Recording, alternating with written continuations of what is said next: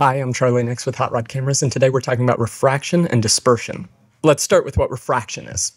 Imagine this shopping cart is a ray of light, and this grassy lawn is a lens element or piece of glass. If the shopping cart moves over the grass dead on, nothing happens to its direction. The shopping cart slows down when it hits the grass and speeds up when it gets back on the pavement. But what happens if that shopping cart heads at the grass from an angle? Well, for starters, only one of its wheels hits the grass first, and since one is on the grass and one is on the pavement, that shopping cart will turn in the direction of the grass. Then we get to the other side. Only one of the wheels will hit the pavement first, and so it will once again turn towards the grass.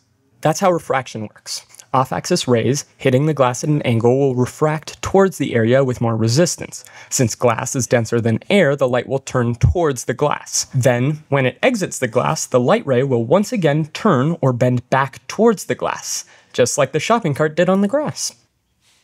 Now let's talk about dispersion. This one's a little more complicated. Imagine every color going through our lens was its own shopping cart. Depending on the color of the cart, the resistance of the wheels is different. One moves very smoothly, one less smoothly, and one requires a ton of effort to move it forward. Each of these wheels will react to the grass differently. One would make less of a turn when it hit the grass, and one would make more of a turn.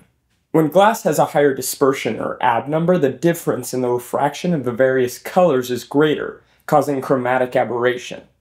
When it has a lower Abbe number, the different colors react more similarly to each other. Lens manufacturers want high refraction to bend and twist the light, but high refraction often comes with high dispersion, which they don't want. So the goal is to get high refraction, low dispersion glass. How do you do that? Well, we'll talk about it in my next video, but here's a sneak peek. It involves poison.